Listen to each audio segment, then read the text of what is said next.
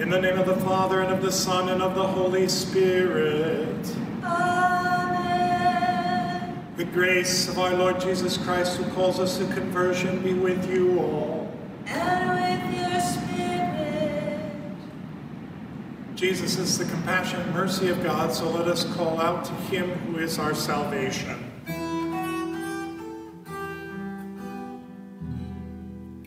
We praise you, O Lord. You give us living water.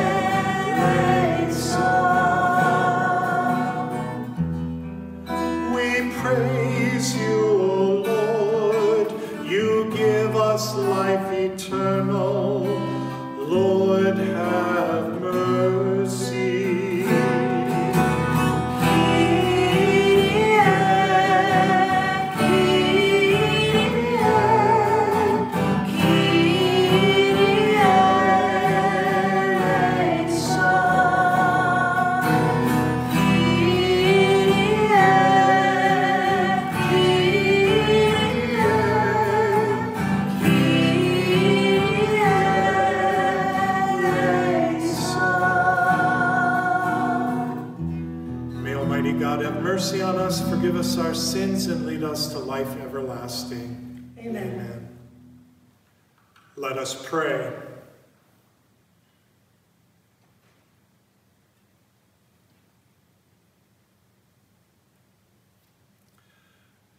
God, our Creator, show forth your mighty works in the midst of your people. Enlighten your church that we may know your Son as the true light of the world, and through our worship confess him as Christ and Lord, who lives and reigns with you in the unity of the Holy Spirit, holy and mighty God, forever and ever. Amen.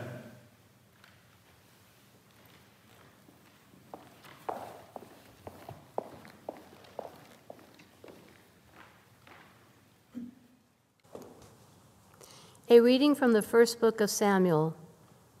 The Lord said to Samuel, Fill your horn with oil and be on your way. I am sending you to Jesse of Bethlehem, for I have chosen my king from among his sons. As Jesse and his sons came to the sacrifice, Samuel looked at Eliab and thought, Surely the Lord's anointed is here before him. But the Lord said to Samuel, do not judge from his appearance or from his lofty stature, because I have rejected him. Not as man sees does God see, because man sees the appearance, but the Lord looks into the heart. In the same way, Jesse presented seven sons before Samuel. But Samuel said to Jesse, The Lord has not chosen any of these.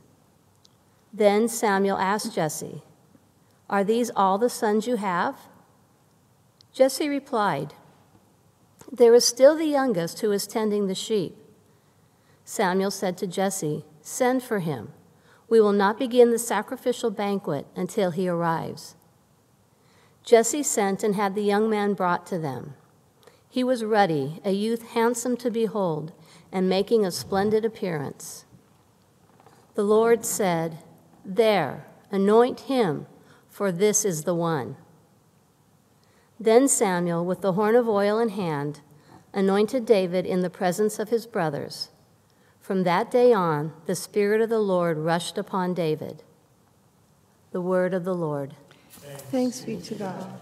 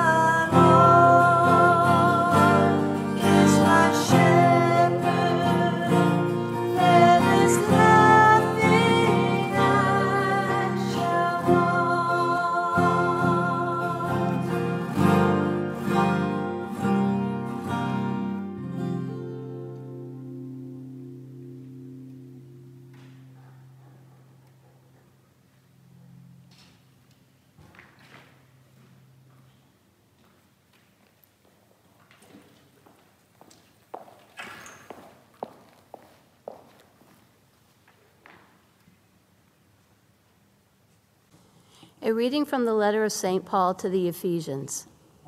Brothers and sisters, you were once darkness, but now you are light in the Lord. Live as children of the light.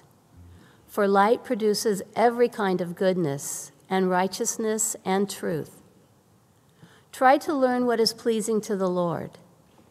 Take no part in the fruitless works of darkness, rather, expose them. For it is shameful even to mention the things done by them in secret. But everything exposed by the light becomes visible. For everything that becomes visible is light. Therefore, it says, Awake, O sleeper, and arise from the dead, and Christ will give you light. The word of the Lord.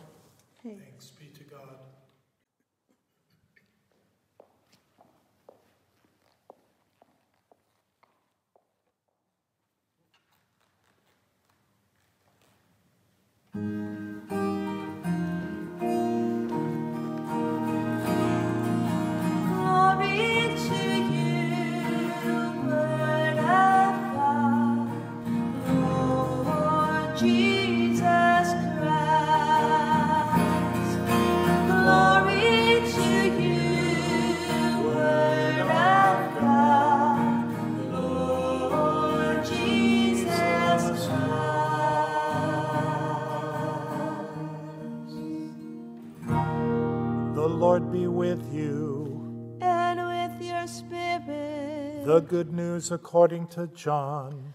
Glory, to you, O Lord. As Jesus passed by, he saw a man who was blind from birth.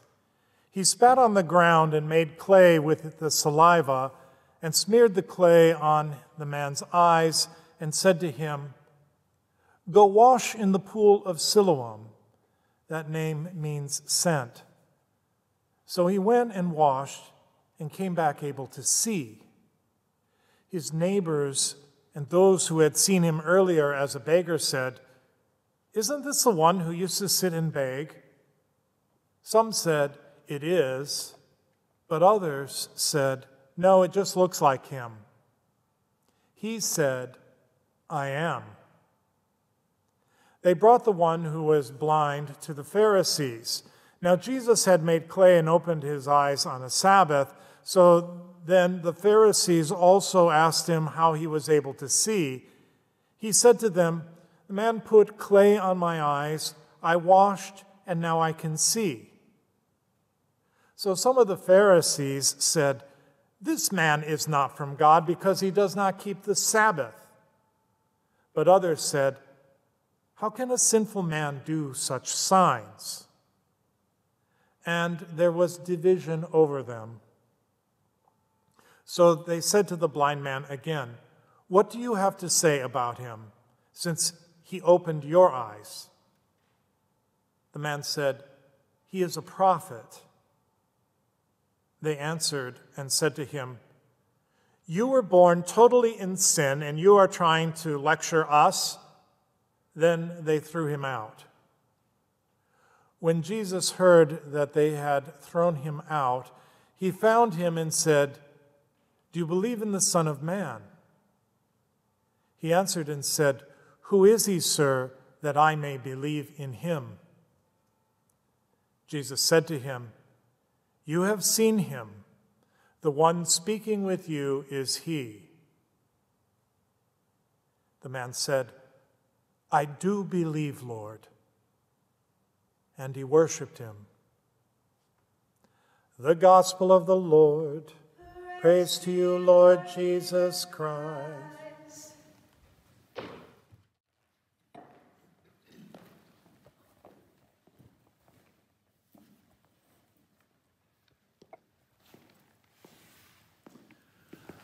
Uh, last week, before we were told that we need to shelter in place, I went to a, uh, I had a dinner party with a couple friends, and one of them commenting on the, uh, the pandemic uh, said, We will not be the same when we get on the other side of this event. Every crisis marks a moment where we are called to move in new directions. But in the midst of crisis, we often can't see where we are going. So we need the healing insight of the Holy Spirit.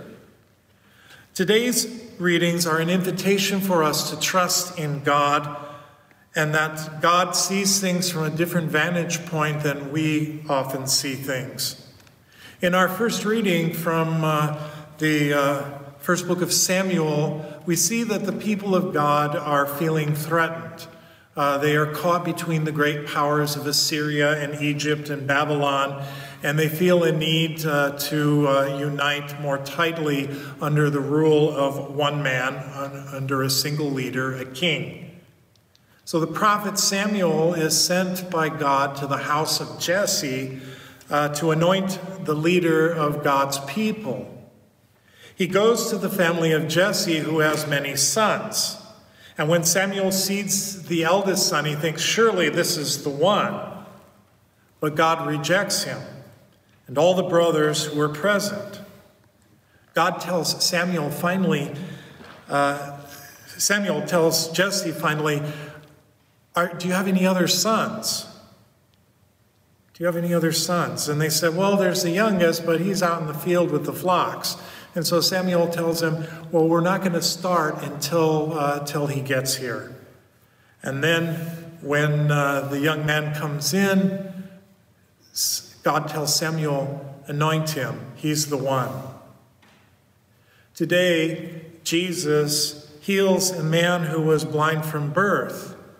The Pharisees had assumed that the man was born blind because he or a member of his family were sinners. We still hear these kinds of sentiments in our own day, in our own culture, when we hear people say things like, the poor are poor because they are lazy or they deserve it. The bad things that happen are because people uh, somehow brought it on themselves. Rather than assigning blame, Jesus sees the man's blindness as an opportunity to show forth the power of the love of God and God's compassion and mercy. Too often in our fast paced culture, we are programmed to judge only on the surface. We rely not on insight, but on superficial impressions. Yet God, right now at this time, is calling us to slow down and take our time to look for those things that truly matter a couple of friends have sent me a poem that helps us see this time in a different way as an opportunity for love. The poem is called Pandemic, and I'd like to share it with you. What if you thought of it as the Jews consider the Sabbath, the most sacred of times? Cease from travel Cease from buying and selling. Give up, just for now, on trying to make the world different than it is. Sing. Pray. Touch only those to whom you commit your life. Center down. And when your body has become still, Reach out with your heart. Know that we are connected in ways that are terrifying and beautiful. You could hardly deny it now. Know that our lives are in one another's hands. Reach out your heart. Reach out your words. Reach out all the tendrils of compassion that move invisibly where we cannot touch. Promise this world your love, for better or for worse, in sickness and in health, as long as we shall all live. Amen.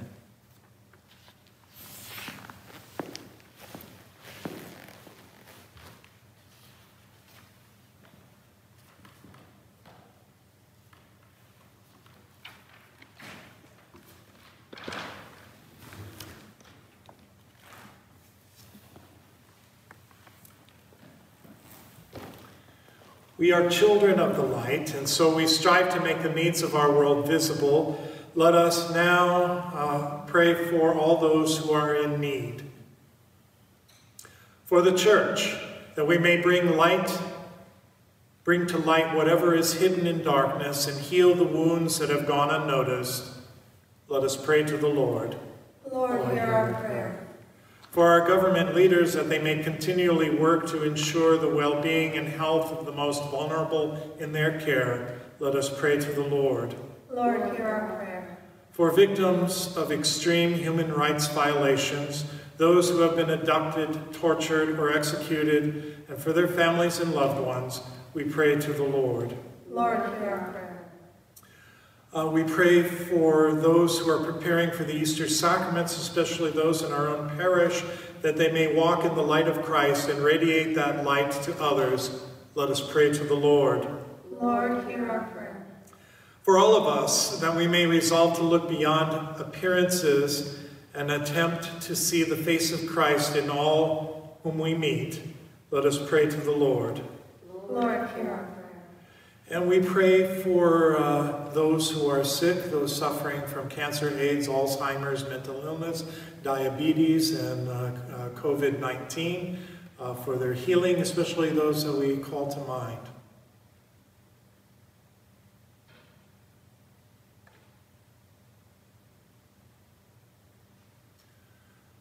We pray to the Lord. Lord, hear our prayer. Let us pray for all the deceased servants of God, uh, the benefactors of our parish community who have died, and all our deceased uh, relatives and friends who have gone before us to the other side of life.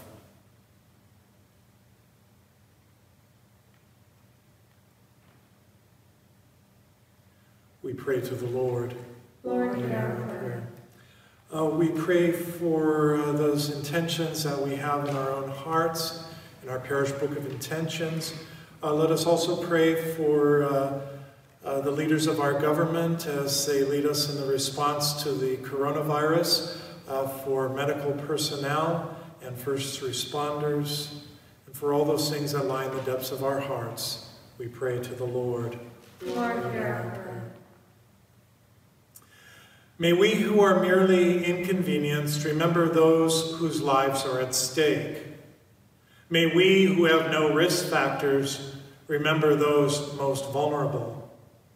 May we who have the luxury of working from home remember those who must choose between preserving their health and making their rent. May we who have the flexibility to care for our children when their schools close remember those who have no options. May we who have to cancel our trips remember those who have no place to go. May we who are losing our margin money in the tumult of economic uh, of the economic market remember those who have no margin at all. May we who settle in for a quarantine at home remember those who have no home. During this time, when we cannot physically wrap our, our arms around each other, let us find ways to be the loving embrace of God to our neighbors. We make our prayer through Christ our Lord. Amen. Amen. And now let us pray together the prayer which Jesus taught us. Our Father, who art in heaven, hallowed be thy name. Thy kingdom come, thy will be done, on earth as it is in heaven. Give us this day our daily bread, and forgive us our trespasses, as we forgive those who trespass against us. And lead us not into temptation, but deliver us from evil. Amen. May the peace of the Lord be with you all. And with your spirit. May Almighty God bless us, the Father, the Son, and the Holy Spirit. Amen. And now let us uh, pray uh, that we all dwell in the peace of our Lord Jesus Christ. Thanks be to God.